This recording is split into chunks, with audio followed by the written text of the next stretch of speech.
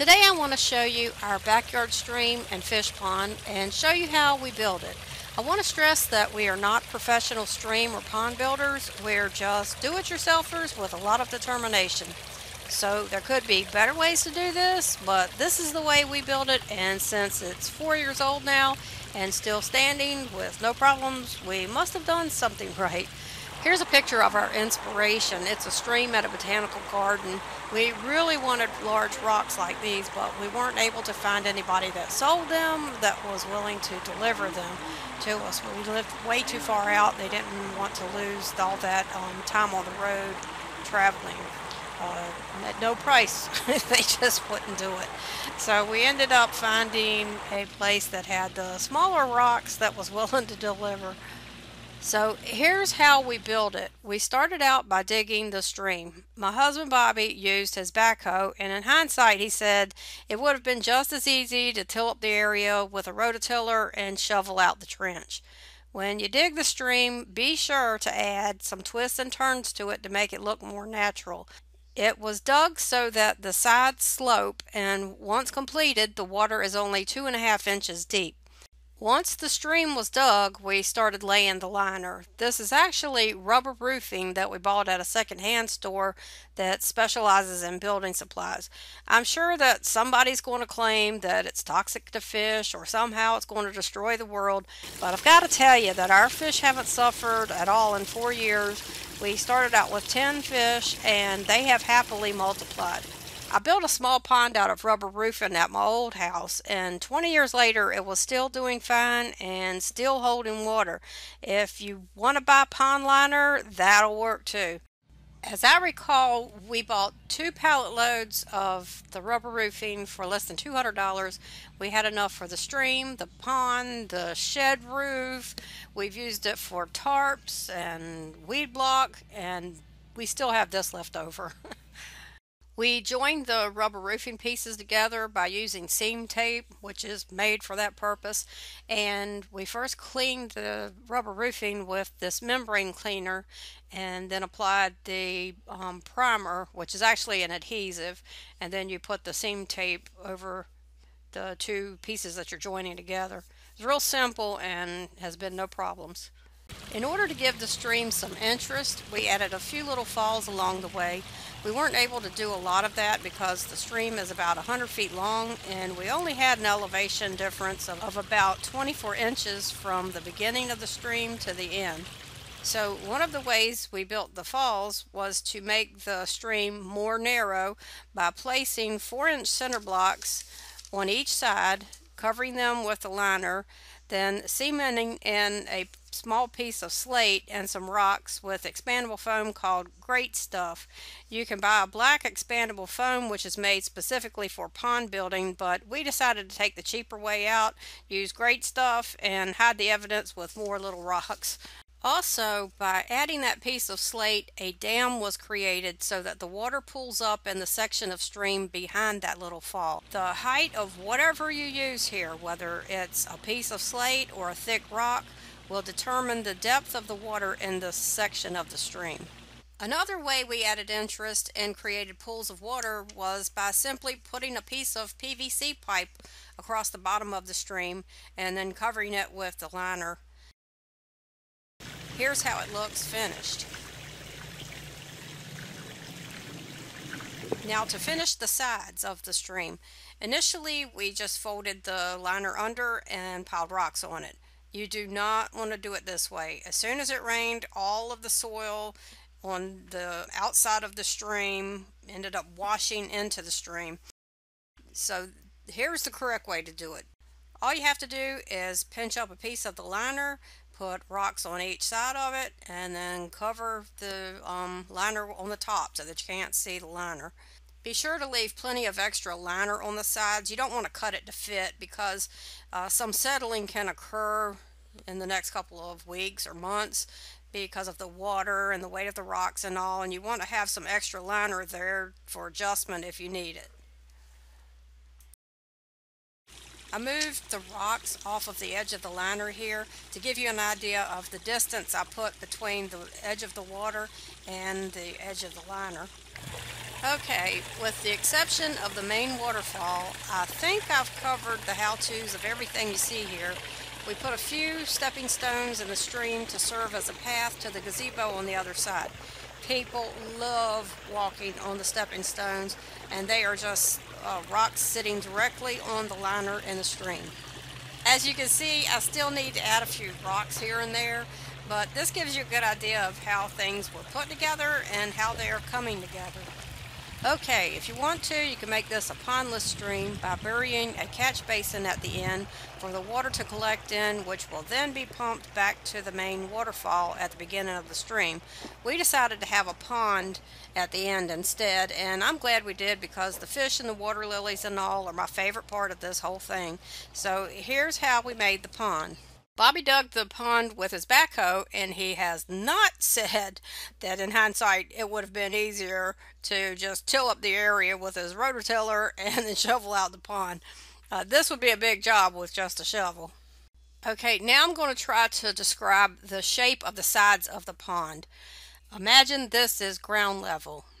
This is water level here was dug down approximately one foot and it's at a slight angle. Here, it's basically a shelf, but it's a slanted shelf and it extends out about 18 inches. Here you can dig down as deep as you like and just make that straight sided. Hopefully you can see what I just described in this finished area. The reason that we dug the sides this way was so that whenever the water level dropped, uh, due to evaporation or whatever, uh, the water's edge would always be on the rocks and the liner would never be exposed. That was a problem that I had with the first pond that I dug. I dug it so that there were just rocks around the top edge of the pond, and then if the water level dropped, you could see the liner and it, it really looked bad. Another advantage to doing it this way is for the protection of your fish. Uh, because the, of the angled area there, the fish rarely ever swim up to the water's edge because the water is so shallow there. Whereas with my old pond, the fish could swim right up to the pond's edge and cats would sit right there on the rocks and eat up my fish. I was constantly losing fish to cats there. This way, the only way a cat could get to your fish is to wade out until the water, and a cat won't do that. We have three cats, and I don't believe they have ever gotten one single fish. And surprisingly, I don't think that the raccoons around here have ever gotten any either. So I highly recommend to slant the sides the way we did. Okay, once the pond was dug, Bobby put some extra liner in the bottom to serve as a cushion, and then he put the main liner over top of it. As you can see, we pieced together several pieces of rubber roofing to make it large enough to do the pond. You ain't got enough camera shots already? No, I needed one of you in it. Oh, crap for size reference. Stand in the middle. Size reference. Now swim. no. I do the dog paddle. Okay. Then we started filling the pond with water. We lapped the last section of liner from the stream over into the pond and we started building the last fall with a large piece of slate. Here it is as a work in progress and here it is in its finished state. It takes a lot of imagination to see this thing through. At this point we knew where our water's edge was and we started adding rocks. One more thing, you need to devise a way to handle overflow in case the pond gets overfilled by rainwater. Our pond is on top of a hill, so this was easy for us. We handled it by digging a ditch at the highest water level and making somewhat of a chute for the excess water to flow out of the pond down the chute and then it drains down the hill. This is the backside of that chute. This is something everyone would have to figure out for themselves based on whatever means you have for getting rid of excess water. Now, how do you build the waterfalls? Well, if you look at the back side, it's pretty self-explanatory. Bobby stacked up some cinder blocks. As you can see, he stacked them on the back. He also put a few on the sides. And then he draped pond liner over the cinder blocks and lapped it over into the pond. Then he just stacked rocks on top of the pond liner. We bought the large rocks and the slate from a nursery and we just brought them home ourselves. That was a pallet load of the large rocks, and that was quite a strain on the truck, which is why we really wanted the rest of the rocks to be delivered. The waterfall at the beginning of the stream was done the same way. Since we have two waterfalls, we have two water pumps in the pond. The pumps just sit on the bottom of the pond, and one pumps water through this hose then through this pipe and into the waterfall at the beginning of the stream. The water then flows down the stream and back to the pond. The reason we haven't buried that pipe yet is we have plans of expanding on this at some point. The other water pump pumps water through this pipe around to the back of the waterfall, then through the filter then it spills out of the waterfall and back into the pond. The filter is a Goplus pressure biofilter. I'll put a link to the one we bought in the description box. I don't get anything if you click on it or if you buy it, so don't get snotty because I'm trying to save you the trouble of looking for a good filter. This filter works great, and I think its greatness is derived from the fact that there is a UV light in it that kills algae. It also traps gunk inside, but I think the biggest results from the filter come from that light because honestly, we don't clean the filter all that often, just maybe a couple times a year. I'm sure it should be cleaned more often, but hey, if the pond is clean and it ain't broke, don't fix it. Actually, during the first year, we didn't have a filter. When the stream got a lot of algae in it during the hottest months, we just shut the stream off for a few days, let the stream go dry, and the sun killed the algae off. We don't run the pumps in freezing weather, and the fish haven't been affected by the pond freezing either. This little pickup tool is great for cleaning leaves out of the stream and it's also strong enough to pick up rocks that the cats knock out of place. And don't forget to add a place where you can sit and enjoy your hard work. We bought this swing from Walmart and we loved it so much that Bobby decided to build a nice house to protect it. The swing reclines and has cup holders. Who could ask for more?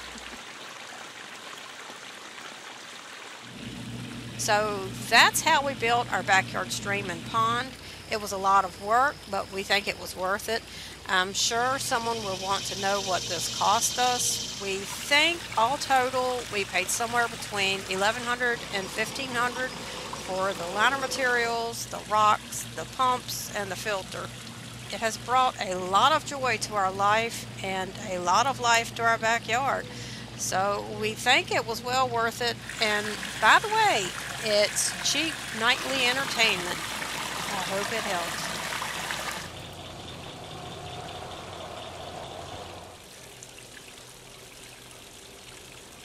Where?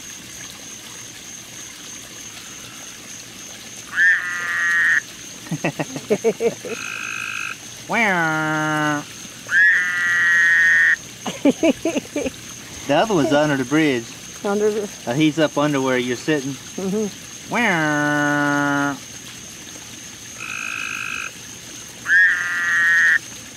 Where? He's not the least bit afraid of us. Uh-uh. Where? uh, I am the frog whisperer. Where?